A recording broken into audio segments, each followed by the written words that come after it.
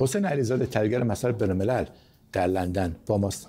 آقای علیزاده از صحبت شما در طول این سالها اینطور برآورد میشه که شما خیلی متمایل به نظام سلطنت و مشروطه نیستید بیشتر به جمهوری تمایل دارید. اما به عنوان یک نظارهگر چطور ارزیابی می‌کنید کارنامه ملکه الیزابت دوم رو؟ ببینید اجازه بدید من چند تا نکته ای که از طی دیروز تا امروز برام خیلی برجسته شده. مثل یک نفر از مخاطبان همین خبر که گوشم رسیده چند تا نکته برام برجسته شده. نکته اول این هستش که الان جایگاه مهم و رفیع سلطنت به راحتی منتقل شده به فرد بعدی. آنچنان که می‌دانم چهارده نفر در این سلسله مراتب قرار دارن که اگر هر حادثی برای هر کدوم از اینها پیش بیاد نفر بعدی می‌توانه جایگزین بشه. در حالی که مقام سلطنت مقام تشریفاتی است یعنی آنچنان مقام مهمی که امورات مملکتی در دستش باشه مانند نخست وزیر نیست. حالا اینو مقایسه کنید با ایران که ما یک مقام رهبری در ایران وجود داره و عمود خیمه اون نظام است همه مسئولیت ها متوجه اوست در واقع همه نهادهای دیگه عملا زیل او کار می‌کنند. امروز وضعیت جانشینی رهبری اصلا روشن نیستش چه وضعیتی اتفاق میفته هر آن کس هم که صحبتی از اون آمده بود به هر حال به گونه ای آسیب دید از بین رفت کنار گذاشته شد فسادهاشون بیرون آمد.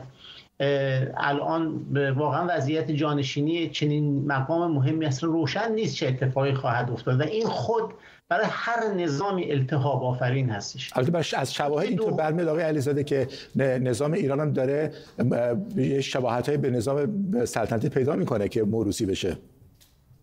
بله مشاره شما به آقای مشتبه خامنه ای هستش که این هفته های اخیر خیلی بحث او بالا گرفته بود و به نظر می‌رسه که محتمل ترین فردی رو که می‌خواهند در این جایگاه بگنجانند همو باشه که خب خود همون هم نشان این هستش که فردی که هنوز مردم صدای او رو به گوششون نشنیدن که این صداش صداش چگونه هستش؟ قدرت نطقش کلامش قلمش نوشتش سخنرانیش رفت رفت آمدش ارتباطش با مردم اصلا هیچی مردم ازش نمی‌دونن. تازه همچین فرد جوان رو که پشت سرش هم مسائل زیادی وجود داره رو به عنوان یک گزینه مهم الان مطرح شده که خب خود این هم برای همین نظام بحران آفرین خواهد بود در نظام آخوندی که در این کشور وجود داره. اگه بینندگان که الان به اون ملحق شدن داد بگم آقای علیزاده دارن دارن راجع به مجتبی خامنه‌ای صحبت می‌کنن راجع به چارلز سوم. بفرمایید راجع به اینجا صحبت کنیم آقای علیزاده. بله بله. نکته دومی که برای من خیلی مهم هستش نگاه کنید یک ملکه خدمتگذاری برای کشورش پس از هفتاد سال فوت کرده. به هر حال سابقه خوبی از خودش به جا گذاشته. کم بوده. اما نگاه کنید که در این کشور سوت و سوگ و ماتم به اون معنایی که ما در ایران برقرار می‌کنیم تو سر زدن ها گریه کردن ها فضای غم و قصه و اینها وجود نداره. در واقع مردم احترامشون رو به پیکر او خواهند گذاشت.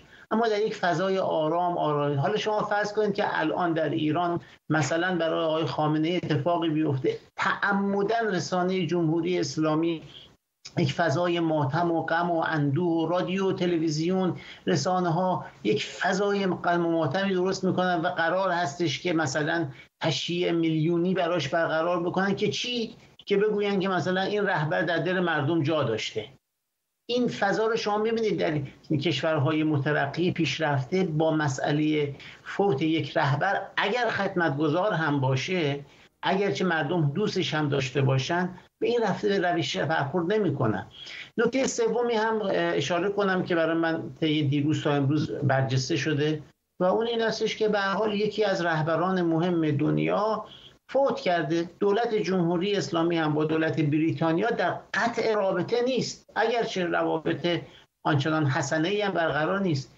چرا پیامی از طرف مثلا فرض کنید آقای رئیسی در حد یک چند تا جملات ریتوریک و تعارفات و مجامله چرا این پیام صادر نشده؟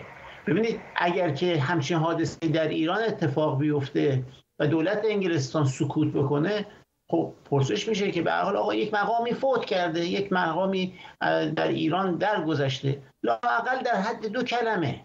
در حد دو کلمه شما از خودتون واکنش نشون بدی نه این وضع فضا را نشون از قضا در شرایطی که کشورها با هم می‌توانند در تنش باشند همینجور موارد هستش که کشوری با کشوری دیگر همدردی بکنه و بعدا این حس همدردی موجب بشود که اون یخ روابط بین دو کشور آب بشود.